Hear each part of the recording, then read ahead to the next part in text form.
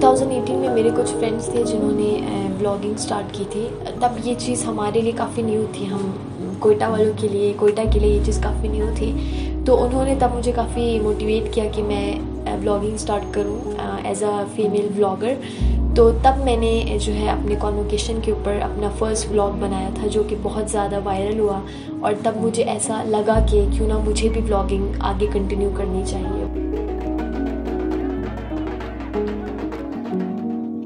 जब मैंने blogging start की तो तब मुझसे काफ़ी फ़ीमेल्स ने कांटेक्ट किया जिनमें कुछ मेरी स्टूडेंट्स थे और मेरे आ, कुछ फ़ीमेल ऑडियंस जो जो मेरे चैनल पे हैं। तो उनका ये था कहना कि हमें हमें भी ये फ़ील्ड परस्यू करनी लेकिन बहुत बड़ा मसला जो आ रहा था वो उनकी फैमिलीज़ का इशू आ रहा था कि वो अलाउ नहीं कर रही।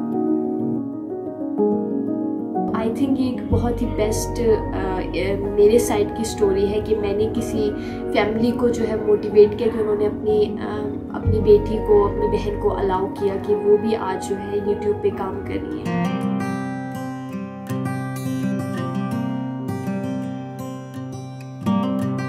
कंटेंट बनाने का जो मकसद था मेरा वो यही था कि मैं बलूचिस्तान को प्रमोट करूँ सपोर्ट करूँ।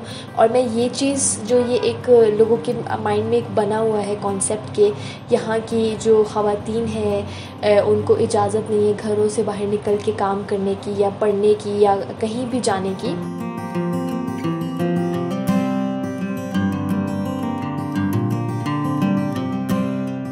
लोग भी आपकी तरह ही हैं, जिस तरह आप लोग आम लोग हैं, पाकिस्तान के या पूरी दुनिया के, हम लोग भी उसी तरह हैं और हम लोग भी वही फीलिंग्स वही हमारी जज्बात हैं, कैफियात है। मेरा जो आगे एम है, वो ये है कि मैं स्पेशली अपने रीजन की जो ख़वातीन हैं, लड़कियाँ हैं यूथ है हमारी, उसको हम लोग सपोर्ट करें। डिफरेंट आइडियाज़ के थ्रू डिफरेंट प्लेटफॉर्म्स के थ्रू उनको हम लोग चांस दें कि वो आके अपना लोहा मनवाएँ।